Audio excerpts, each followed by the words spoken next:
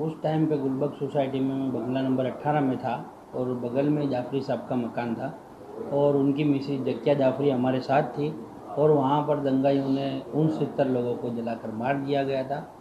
और 2002 से 2008 तक हमने सुप्रीम कोर्ट में लड़त लड़ी, उसके बाद एसआईटी टीम आई और जो आज जो जक्या जाफरी की पिटीशन ने बासठ महानुभाव पे जो केस किया था निचली कोर्ट में उसने खारिज कर दिया, फिर हाई कोर्ट गए। हाई कोर्ट ने खारिज किया तो सुप्रीम कोर्ट में डायर किया। 2017 के अंदर जक्या जाफरी की हाई कोर्ट ने खारिज कर दी थी। फिर जक्या जाफरी सत्रह के बाद गई, आज सात दिन पहले से हेयरिंग चालू है। और सीट ने जो तपास जो नहीं करी है, जो फ़ोन कॉल हुए उस टाइम पर, जो आरोपियों ने फ़ोन कॉल किए, बड़े अधिकारियों ने फ़ोन कॉल किए, जाफरी साहब ने फ़ोन कॉल किए जिस तरह से, और ऐसा लगता था कि नौकर साहब और पुलिस और एसआईटी सब मिली भगत की तपास चल रही थी तो वही सारे मुद्दे वहाँ पर अभी उठाए गए हैं। हमारे एडवोकेट कपिल सिब्बल ने, जक्या जाफरी के एडवोकेट उन्होंने ये उठाए सब मुद्दे कि भाई जो वारदात हुई, जिस तरह से इंसान जानवर की तरह बर्ताव किया है 2002 में उन सत्तर लोगों को मार दिया गया था वहाँ। हाँ ये एक साजिश के तहत था पूरा, जो प्री प्लान था कि उस टाइम पे पूरा मुस्लिमों को ख़त्म करना है। प्री प्लान के तहत था।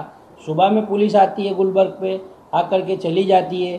संयुक्त कमिश्नर आते, आकर के चले जाते, आश्वासन दे करके शाम तक साढ़े चार, पाँच बजे तक कोई पुलिस आती नहीं है। डिमांड ये की गई है कि जिस तरह से जैसे कि एंबुलेंस की तपाशनी की गई फ़ोन कॉल की तपाशनी की गई, जैसे आरबीसी कुमार साहब बोल रहे थे, उनका स्टेटमेंट का नहीं किया आई बी इंटेलिजेंट के थे, संजीव भट्ट का था, राहुल शर्मा साहब का था नरोड़ा पाटिया का था, नरोड़ा गाँव का था।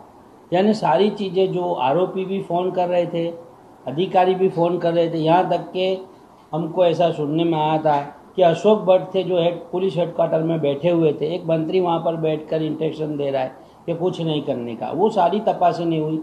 जिस तरह फिर आर्मी आई थी तो आर्मी के जो जनरल थे, उनको गुमराह कर दिया गया था कि यहाँ दंगा नहीं हो रहा है, दूसरी जगह जाओ, उधर जाओ। उनको फिर उनकी भी तपास नहीं हुई, उनका भी कोई स्टेटमेंट सीट ने रिकॉर्ड पर नहीं लाई।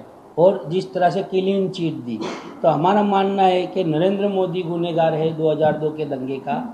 आरोपी है और उनको सजा होनी चाहिए और जो बासठ महानुभव है, उनको उनके साथ में और जो पुलिस के आला अफसर थे, जैसे कि पुलिस कमिश्नर थे अहमदाबाद के, और सेक्टर टू के जो सेक्टर के कमिश्नर थे एम के टंडन पी बी गोंदिया ये सारों को सजा होनी चाहिए, सारे ही गुनेगार थे, इन्होंने पूरी पूरी इनके ज़िम्मेदारी का गैर उपयोग उठाया। अब ये चाहते हैं हम सुप्रीम कोर्ट से जिस तरह से अभी सुनवाई चल रही है तो सुप्रीम कोर्ट से हमें एक न्याय की आशा जगी है फिर से कि सुप्रीम कोर्ट ये नक्की करे कि जिस तरह से जो अधूरी तपास रह गई है, जो क्लोजर रिपोर्ट जिस तरह से सीट ने रखा है, जो एसआईटी ने, जो सुप्रीम कोर्ट ने निमणूक करी थी तो वो क्लोजर रिपोर्ट जो सही ढंग से जिस तरह से होना चाहिए था, जो इंसाफ मिलना चाहिए था, वो इंसाफ अगर जिस तरह से तपास करेगी तो हमको लगता है कि शायद इंसाफ मिल सकता है।